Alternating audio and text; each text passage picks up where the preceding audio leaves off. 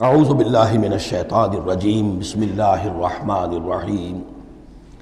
सूरत हूद बसमीम यह अब जोड़ा है इस जोड़े का दूसरा फ़र्द सूरह हूद यहाँ आप देखेंगे कि बरक्स तरतीब हो जाएगी दस रुकुओं में से छः से जायद अम्बाउर रसुल पर मुश्तमिल है और जिसमें सबसे तफसीली ज़िक्र जो है ये सूरह यह हज़रत नूह सलाम का है और आखिर में बहुत ही मुख्तसर सा तस्करा जो है हज़रत मूसा का है। बाकी जैसे सूरह आराफ में एक एक रुकू, एक एक रसूल के लिए वही तरतीब आप यहाँ देखेंगे। बसमीम अलिफ्लाम किताब महकमत आया तो सुम फुसलत मिलतुल हकीम खबीर। अलिफ्लाम ये वो किताब है जिसकी आयात पुख्ता की गई हैं, मज़बूत की गई हैं। फिर उनकी तफसील की गई है, उन्हें खोला गया है उस हस्ती की तरफ़ से जो हकीम और ख़बीर है, जो कमाल हमत वाला और बाखबर है। इसका एक मफहम यह हो सकता है कि कुरान मजीद में शुरू शुरू में जो सूरतें नाजिल हुई हैं, वो छोटी छोटी लेकिन बहुत प्रोफाउंड। चंद अल्फाज के अंदर मालूम होता है कि जैसे सूरत असर है वल असर इन इंसान लफ़ी खुस्र नज़ीन आमन आमिल सालहत व तवास बिलहक़ व तवास बिसब्र अब इसमें कुल हिदायत मौजूद है और इमाम शाफी के वो अकवाल जो है मैंने अपने किताबचे में राह निजात सूरतुलसर की रोशनी में वो सारे दर्ज किए हैं कि लौलम यूनजल मिनकुरान सिवाह लकफ़त नास अगर सिर्फ़ ये सूरतुलसर नादिल होती कुरान में से कुछ ना नादिल होता तो भी हिदायत के लिए काफ़ी थी। और लौ तदब्बर अन्नास हाज सूरत वसयात हूँ अगर लोग सिर्फ़ इस सूरत पर तदब्बर करें, गौर करें तो ये उनकी हिदायत के लिए काफ़ी हो जाएगी। तो इब्तदाई सूरतें और आयतें बड़ी महकम, लेकिन उसके बाद तफसील उन्हीं की बयान हुई है। अल्लाह ताबुदल्ला ये किताब किस पैगाम के साथ आई है? न पूजो किसी को सिवाय अल्लाह के। इन ननी लकुमिन हो नज़ीर व बशीर यकीन मैं हूँ तुम्हारे लिए उसकी जानब से खबरदार करने वाला और बशारत देने वाला। ये दो अल्फाज बार बार आ रहे हैं, बशीर और नज़ीर नज़ीर और बशीर। वमा नुरसलमरसलिन अल्ला मुबशरीन व मुंजरीन रसुलम मुबशरीन व मुंजरीन यकून हजत बाद वकान अज़ीज़ हकीमा। वानस्तफ़िर रबकुम और ये कि अपने रब से इस्तफ़ार करो, माफ़ी चाहो। सुम इले और फिर उसकी जनाब में रुजू करो, उसकी तरफ़ बढ़ो। यो मत को मतान हसना, वो तुम्हें साजो सामान देगा दुनिया की ज़िंदगी में भी अच्छा फ़ायदा, इला अजल मुसम्मा, एक वक्त मुन तक के लिए। दुनिया में भी तुम्हारे लिए हसना होगा। व यूत कुल नज़ी फजलिन फजला, और हर साहिब फजल को उसके हिस्से का फजल अता करेगा। यहाँ जो है जी फजल से मुराद है मुस्तक फजल। जो भी फजल का मुस्तक है, उसे अल्लाह ताला उसका फजल अता करेगा। इन तवल्लो, और अगर वो पीठ मोड़, अगर तुम फिर जाओगे फ़ैनी अखाफ वालकुम अजाब यौम कबीर तो फिर मुझे अंदेशा है कि तुम पर बहुत बड़े दिन का एक अजाब आएगा। इल्लाह मरजुम तुम्हारी तरफ़, अल्लाह की तरफ़ तुम्हें लौट जाना है, वह अलाकुल शैन कदीर, और वह हर चीज़ पर कादिर है। अला इन यसनून सदूर हम मिन आगाह हो जाओ, ये लोग अपने सीनों को दोहरा करते हैं ताकि उससे छुप सकें। ये मुश्किलातुल्कुरान में से, इसके बारे में बहुत से अकवाल हैं। एक राय जो है कि जो बुखारी में हज़रत इबन अब्बास का जो कौल आया है वो ये है कि कुछ अहल ईमान के ऊपर हया का इतना गलबा था, जैसे हज़रत उस्मान रज़ी अल्लाह तारान कि वो कभी गसल भी करना होता था, उस वक्त भी उरिया होना उन्हें पसंद नहीं था तो वो इस तरीके से झुक जाते थे कि गोया के सत्र फिर भी जो है वो छुपा रहे। और अगर कहीं कज़ाए हाजत है या कोई और, उस वक्त भी वो पूरा सत्र का अहतमाम करते थे। तो ये फरमाया जा रहा है कि तुम कितना ही कर लो, ज़ाहिर बात है कि अल्लाह ताला की निगाहों के तो तुम सामने हो। लिहाजा ये है कि इसमें एक हद तक जो भी अल्लाह ताला ने सत्र का, हिजाब के जो भी अहकाम दिए, उनकी पैरवी करो, लेकिन किसी भी मामले में गुलूफ की ज़रूरत नहीं है। अला यसनून बाकी और तरह से भी इस इस आयत की जो है वो तशरी की गई है।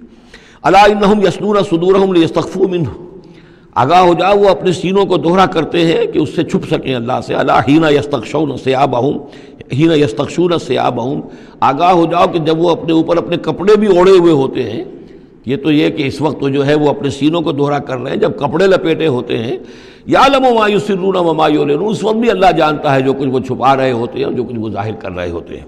इन अलीम बेजात सदूर, वो तो जो कुछ सीनों के अंदर है, उसको भी जानता है। और नहीं है कोई भी चलने वाली चीज़, कोई हैवान, कोई चौपाया, कोई चरिंद, कोई परिंद, ज़मीन पर, जितने भी हैवानात हैं, अल्लाह ने बनाए हैं। लेकिन यह कि उनका रिस्क अल्लाह के ज़िम्मे है। यानी अल्लाह ताला ने जो निज़ाम बनाया इस दुनिया का, उसमें हर शय के लिए उसका रिस्क फराम किया। जो जानदार बनाया, उसके उसके लिए जो गज़ा है, जो ज़रूरी चीज़ें, वो पहले से फराम कर दी। बच्चे की पैदाइश बाद में होती है और माँ की छातियों में दूध पहले पैदा हो जाता है। तो अल्लाह ताला की तरफ़ से ये निज़ाम जो है ऐसा है। ये दूसरी बात है कि लोगों ने तकसीम दौलत का निज़ाम गलत कर दिया तो कुछ लोग भूखे रह गए, कुछ नंगे हो गए, कुछ ने दौलत समेट समेट कर जो है अपने खत्ते भर लिए, अंबार लगा लिए। ये इंसानों का मामला है। ये उन्होंने गलत काम किया है। वरना अल्लाह ताला ने तो तमाम जो भी जितनी भी मखलूक़ात हैं, उनके लिए काफ़ी और वाफ़ी रिस्क जो है वो पैदा किया है। वमामिन रिस्क़ा व यालम मुस्तकर रहा व मुस्तौदा और वो जानता है उसके मुस्तकिल क़्याम की जगह को भी, और जहाँ वो आर्जी तौर पर सौंपा जाता है। ये मुस्तकर और मुस्तौदा पर गुफ्तु हो चुकी है तफसील के साथ। तीन अकवाल इसके बारे में मैं बयान कर चुका हूँ सूर्य नाम के ज़िमन में। कुल्लफ़ी किताबी मुबीन और ये सब कुछ एक खुली रोशन किताब के अंदर मौजूद है। वही किताब जो इल्म इलाही की किताब है।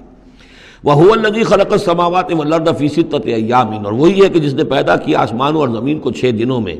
वकान अरशमा और उसका तख्त था पानी पर। ले यबलोकुम अयुकुम अहसन अमला, ताकि तुम्हें आजमाए कि कौन है तुम में से अच्छे अमल करने वाला। यानी ये तख्लीक जो है और इंसानी ज़िंदगी का जो ये हिस्सा जो इस दुनिया में गुजरता है, इसका जो असल मकसद है वो है इम्तहान। कुलजुम हस्ती से तो उभरा है मानंद हबाब, इस दया खाने में तेरा इम्तहान है ज़िंदगी। बाकी ये कि कान अर्श अलमा उसका तख्त पानी पर था, इसके मानी क्या है? मेरे नज़दीक अब भी ये आयात मुतशाबहात में से है, लेकिन एक अंदाज ऐसा है कि जिससे महसूस होता है कि शायद वो, उसकी तरफ़ इशारा किया जा रहा हो कि ये दुनिया जब बनी है ये ज़मीन जब ठंडी होने लगी है तो ठंडी होकर इसके बुखारात निकले हैं। और वो इसके गिर्द जो फिजा बनी है एटमॉस्फियर उसके अंदर ये गैसेस गई हैं। इन गैसेस के अंदर जो है हाइड्रोजन और ऑक्सीजन के ज़रिए से फिर पानी पैदा हुआ है। और तवील अरसे तक बारिशें होती रही। तवील अरसे तक। लाखों साल ये कहते हैं कि बारिश हुई है। और चूँकि जब ज़मीन सुकड़ी है तो कहीं से वो ऊँची हो गई, कहीं से नीची हो गई। सुकड़ती है कोई शय तो उसके अंदर नशेब व फराज पैदा हो जाते हैं। तो बारिश जब बरसी है तो फिर यह कि समंदर वजूद में आए हैं। अभी कोई और मखलूक़ात नहीं थी। सिर्फ़ यह कि इस ज़मीन के ऊपर, या ये कि वह पहाड़ थे और या पानी था, बल्कि यह कि अक्सर व बेशतर पानी ही पानी था।